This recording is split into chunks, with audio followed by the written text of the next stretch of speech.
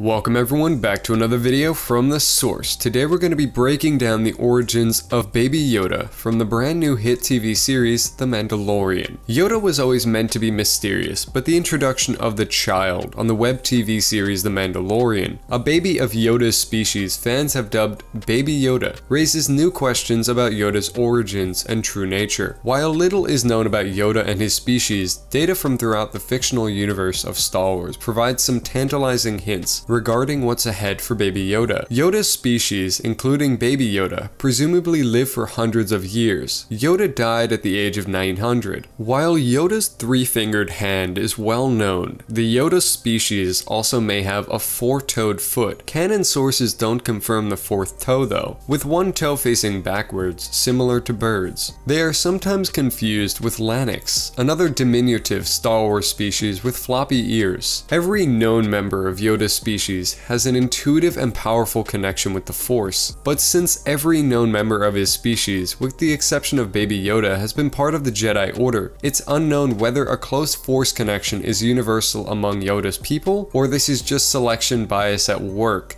From The Mandalorian, we know that Yoda species are in infancy, at least into their 50s, and seem to have an innate connection to the Force, so much so that it can easily overtax their tiny bodies. With remnants of the Empire after Baby Yoda, including the client, The Mandalorian also seems to suggest that the Emperor and his forces may know more about Yoda and his species than other factions. Originally, Star Wars creator George Lucas invented Yoda for structural storytelling reasons, but came to embrace the character's mysterious nature by the time he got around to writing and directing the Star Wars prequel trilogy. In a video interview for Moviefone around the release of Star Wars Episode 3 Revenge of the Sith, Lucas described Yoda as a narrative necessity after killing off Obi-Wan Kenobi in the original Star Wars. When I killed him off, I had to replace him when I got to the second movie, and I could do certain things by having him come back as a ghost from the Force, because I had decided to kill him off in a metaphysical way rather than a physical way, but he couldn't do everything, Lucas said, describing the need for a new mentor character in The Empire Strikes Back. The solution he struck upon was Yoda. I created Yoda, who was 2 feet tall, large, with green ears, but to be really honest with you, I never really figured out where he came from, what his species is called. It doesn't even have a name. Maybe it's somewhere, but I don't know what it is, Lucas said. So he's a mystery character. He's a magical character. He has no background. He comes and he goes. He's the subversive, secret, mysterious stranger that enters the film and then exits at the end. While that worked for The Empire Strikes Back, the demands on an increasingly sprawling science fiction franchise soon resulted in additional characters of Yoda's species. Video games, Star Wars, Knights of the Old Republic, and Star Wars The Old Republic introduced Yoda species characters Vandar Tokare and Oteg, both members of the Jedi Order thousands of years before the events of the Star Wars movies movies. Other members of Yoda's species popped up in Dark Horse comics, delving into Yoda's early training, but all of these sources are of dubious canonicity in the Disney Star Wars era. Other than Baby Yoda and Yoda, the only other known member of the species is Jedi High Council member Yaddle, a female. Yaddle is nearly 400 years younger than Yoda. She was almost exactly 2 feet tall, about 2 inches shorter than Yoda. Yaddle stepped down from the Jedi High Council before the Clone Wars, so her ultimate fate is unknown. However, there is reason to believe she may have survived Emperor Palpatine's slaughter of the Jedi. In Star Wars Jedi Fallen Order, a new video game set in the years before the original Star Wars, your ship's pilot, Greez Dritus, mentions tales of a green, pointy-eared legendary Jedi Master, who he hopes might come out of hiding should the Jedi Order make a comeback. Dritus confirms he's talking about Master Yaddle, and seems to have a bit of a crush on her, suggesting that Yaddle was never confirmed killed in the aftermath of the Emperor's Order 66. While Yoda is dead, a living Yaddle could be connected to Baby Yoda on The Mandalorian, or Baby Yoda could be our gateway into a new understanding of the Yoda species, maybe even an unveiling of what it is we should call them. Otherwise, we may be stuck with Lucas's joking conclusion made in an interview for Star Wars Episode 2 Attack of the Clones, that Yoda is the illegitimate child of Kermit the Frog and Miss Piggy.